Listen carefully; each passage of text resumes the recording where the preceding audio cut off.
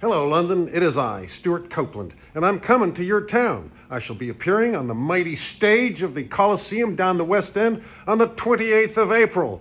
The stage will be full of a raging orchestra, three soul sisters on the mic, me banging shit, and we're going to play Message in a Bottle, Roxanne, Can't Stand Losing You. Every little thing she does is magic.